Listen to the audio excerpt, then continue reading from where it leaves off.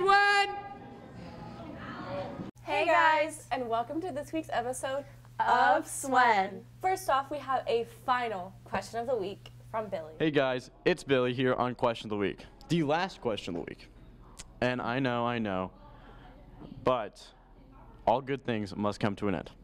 And starting next week, Josh will be taking over. And then after Christmas break, I will be doing a new segment, which I think y'all all like.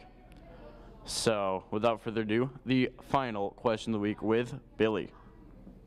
Do you have any questions for me? Um, what's up? Nothing much. How about yourself? Nothing much. What is your question for me? What is your favorite kind of genre of music? Rap. Do you have a question for me? Um, how was your day? It's been pretty well. Do you have any questions for me? Do you like country music? No. Wow. What is your question for me? What's your Snapchat? Oh, you guys can add me at William Bellamy. Now, we've got a segment on the auto shop class for you guys. As a student, what is a typical day like in auto shop? Well, you show up and you do your work and don't slack off. That's pretty much. What have you learned so far that can help you through auto shop?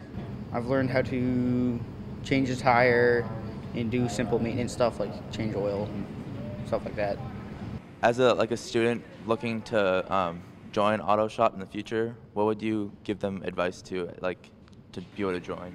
Um, be respectful to the teacher. That goes a long, long ways. And just don't be an idiot and goof off. Yeah. And finally, what are the type of things that you do like every day in auto shop?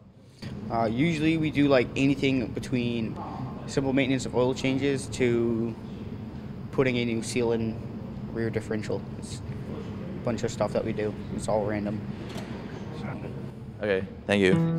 You got that lined up in the notches over there?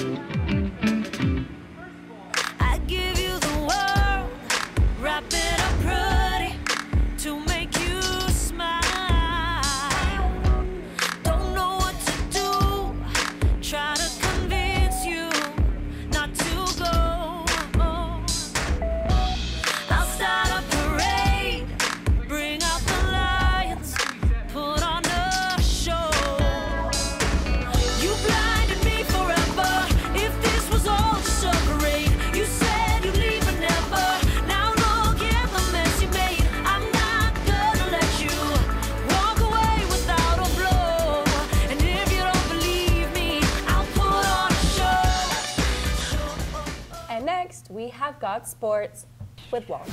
What's going on, Somersworth? My name is Walshy, And Caitlin here, taking over.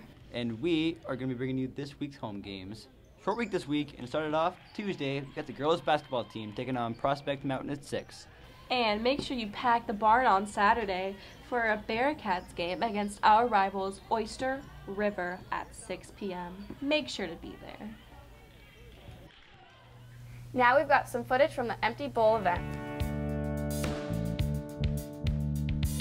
Uh, we have empty bowls going on. After school, we made clay bowls every day with molds, and we fired them and we glazed them so they would look nice. And uh, we sold them so that we could raise money for Hope on Haven Hill, a women and children's center in Somersworth.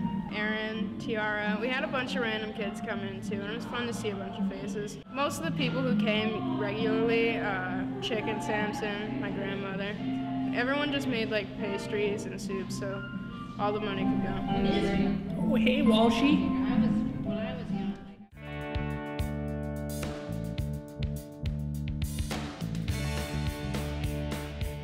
And now, here are your SHS announcements. It is time to start thinking about your 2019 2020 course scheduling. This process will officially begin in January. And the National Honor Society is hosting a spaghetti dinner on December 19th at 5:30. Admission is free, but they're accepting donations of clothing and household items. Well, bye, Bye, guys. And we'll see you next week On Swen.